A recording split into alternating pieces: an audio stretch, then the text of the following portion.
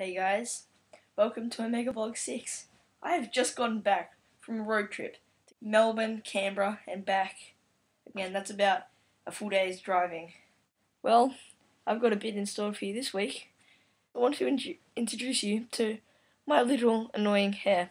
His name is Jimmy Tim, and I have grown him and met him on my travels to Melbourne, where he just hopped on my head, and he's a bit annoying. You know how I told you that I was gonna do a bit of videoing on my road trip?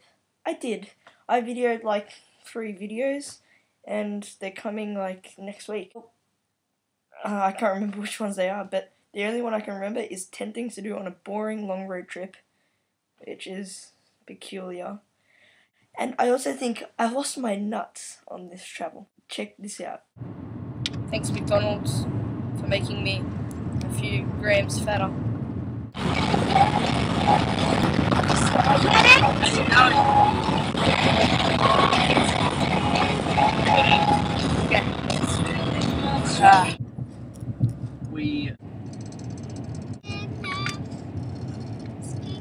Yes, yes, you don't have to point it out. I was wearing a panda on my head. That's what a day of um driving does to you. Seriously. McDonald did make me a few grams fatter.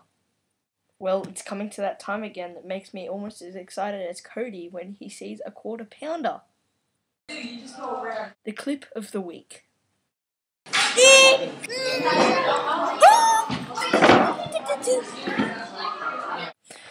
Well, this is a simple movie, but it is Tom, being as stupid as he is, introducing his um so-called Omega Idiots dance.